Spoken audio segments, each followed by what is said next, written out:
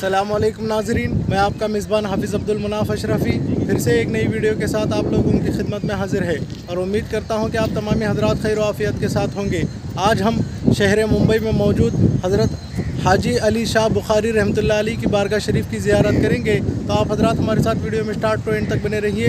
इन जो भी मालूम हज़रत के सिलसिले में मालूम होती है, वो आपसे शेयर करने की कोशिश करेंगे। अगर आप हजरात को हमारी वीडियो पसंद आए तो वीडियो को लाइक करें, शेयर करें और कॉमेंट बॉक्स में ज़रूर बताइए कि आप हजरात को वीडियो कैसे लगी। जो हजरात हमारे इस चैनल पर नए हैं, उनसे गुजारिश करते हैं कि वो हमारे चैनल को सब्सक्राइब करें बेलाइकन को प्रेस करें, ताकि हमारी हर नई अपडेट आप तक बसानी पहुँच जाए चलिए बारगाह शरीफ की जियारत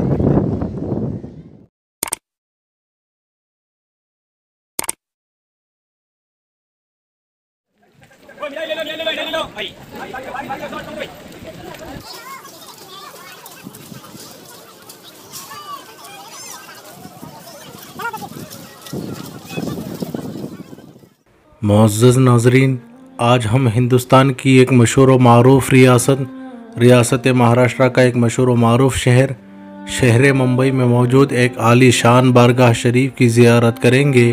तो आप हजरात हमारे साथ वीडियो में शुरू से लेकर आखिर तक बने रहें। आप हजरात को हमारी ये वीडियो पसंद आए तो वीडियो को लाइक करें।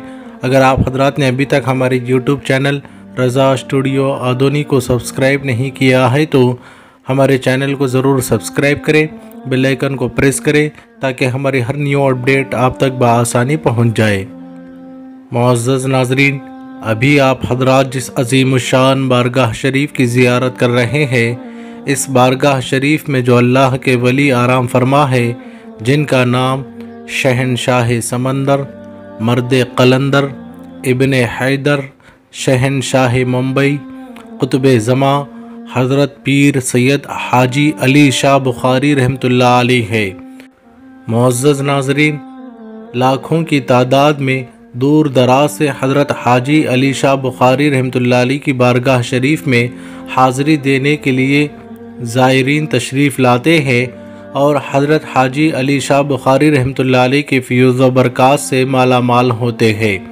मुआज़ नाजरीन, हज़रत हाजी अली शाह बुखारी रहमत हुसैनी सादात में से है। आपके वालिद माजिद का नाम हज़रत सैयद कबीरुद्दीन रहमत है और आपकी वालिदा माजिदा का नाम सैदा बीबी ज़ैनब रहमत है। मुआज़ नाजरीन हज़रत हाजी अली शाह रहमत की विलादत बासआदत 21 रजब को बुखारा शरीफ में हुई। आपकी तारीख़ विसाल 16 रबीउल आखिर है और आपका उर्स शरीफ रबीउल आखिर की 16-17 तारीख़ों में मनाया जाता है। मुआज़ नाजरीन, हज़रत हाजी अली शाह बुखारी रहमत के हिंदुस्तान आने का वाक़ कुछ इस तरह है कि एक मरतबा आपने एक औरत को रोते हुए देखा। आपने रोने की वजह पूछी तो उस औरत ने बताया कि मैं इस बर्तन में तेल लेकर जा रही थी। अचानक ठोकर लगने से सारा तेल ज़मीन पर गिर गया। मैं इस वजह से रो रही हूँ कि बग़ैर तेल के घर जाऊँगी तो मेरा शोहर मुझे मारेगा। हज़रत हाजी अली शाह बुखारी रहमत को उस औरत पर रहम आया। और आपने उस औरत से कहा कि मुझे उस जगह ले चलो जहाँ तेल गिर गया। आप रहमत उस जगह पहुंचकर आपने ज़मीन पर अपनी ज़ोर से अपनी उंगली रखी तो ज़मीन से सारा तेल बाहर आ गया। उसके बाद वह औरत बर्तन में तेल को भर लेती है और खुश होकर अपने घर चले जाती है। इसके बाद आपने ख्वाब में देखा कि ज़मीन कह रही है, आप इस तरह दबाकर मुझे तकलीफ़ दी है। ये ख्वाब आपको बार बार आने लगा। उसके बाद आप रहमत अपनी वालिदा की इजाज़त लेकर अपने भाई के साथ बुखारा से हिंदुस्तान तशरीफ़ लाए। हिंदुस्तान में आपकी आमद मुंबई में हुई। मुंबई में ही सुकूनत इख्तियार करने का फ़ैसला फरमाया। और अपने भाई को वापस भेज दिए और उनके साथ अपनी वालिदा को ख़त लिखकर अपना फ़ैसला बताया। फिर आप कई अरसे तक मुंबई में ही रहकर इबादत इलाही और इस्लाम की तबलीग करते रहे और लोगों को दीन की तालीम देते रहे। मुआज़ नाजरीन, हज़रत हाजी अली शाह बुखारी रहमत मक्का शरीफ का सफ़र करने का इरादा करते हैं। मक्का शरीफ के सफ़र के दौरान आप रहमत का इंतकाल होता है। हज़रत हाजी अली शाह बुखारी रहमत ने सफ़र से पहले अपने साथियों से फरमाया था कि अगर सफ़र के दौरान मेरा इंतकाल हो जाए तो मुझे कफन पहनाकर, मेरे जिस्म को एक संदूक में रख कर समंदर में बहा देना, जहाँ पर मेरी मैयत पहुँचे वहाँ के लोग मुझे दफन करेंगे। आपकी वसीयत के मुताबिक आपके जिसम मुबारक को समंदर में छोड़ा गया। आप रहमत का जिसम मुबारक मुंबई के समंदर के किनारे पहुँचा और आप रहमत को वहीं पर समंदर के किनारे पर ही दफन किया गया। मुआज़ नाजरीन, हज़रत हाजी अली शाह बुखारी रहमत की बारगाह शरीफ सन 1431 ईस्वी में हाजी उस्मान रंगीकार ने आपकी दरगाह शरीफ और दरगाह शरीफ के बाजू में मस्जिद की तामीर कराई।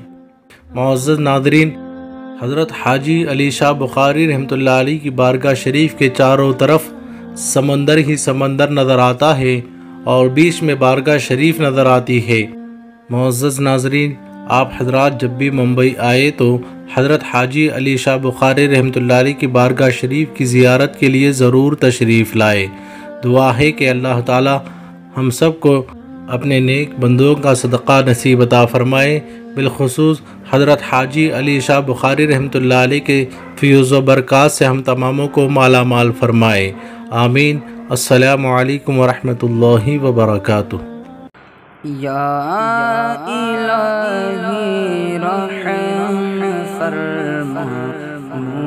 मुस्तफ़ा के वास्ते। रसूल करम कीजिए खुदा के वास्ते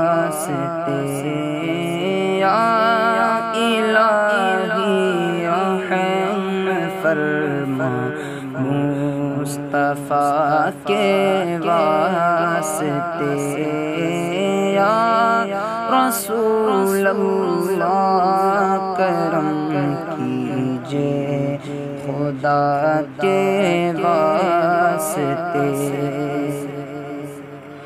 मुश्किलें हल कर शगे, मुश्किल कुशा के वास्ते। हल कर शगे मुश्किल कुशा के वास्ते कर बला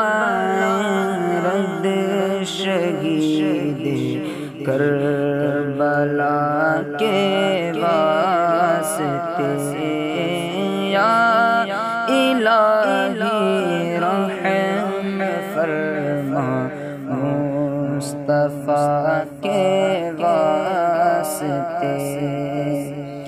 सैयद सज्जाद के सदसे में साजिद रख हमें। सैयद सज्जाद के सदसे में साजिद रख हमें। इल्म हक दे बाक़िरे खुदा के वास्ते इल्म हक दे तेरे में खुदा के वास्ते सिद्ध सादिक का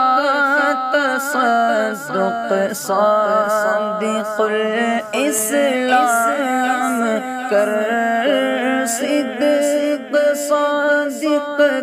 का